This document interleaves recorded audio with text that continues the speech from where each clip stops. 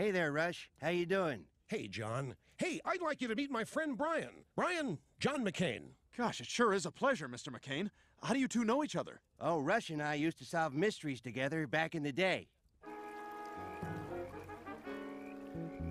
I don't understand, John. The groundskeeper said he saw the mummy burning the flag. But mummies don't hate America. They sure don't, Rush, but Democrats do.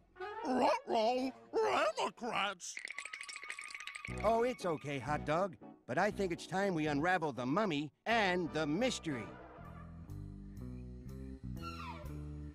I don't get it, John. How's a pig gonna help us lure the mummy? Rush, I've never known a Democrat to pass up pork.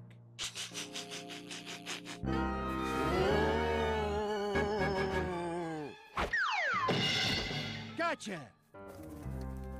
Now, let's find out who you really are. It's old man Barney Frank. And I would have gotten away with it too if it weren't for you meddling Republicans. Thanks for all your help, Globetrotters. That was a cold swish. Put her there. Oh, no, no, no, no.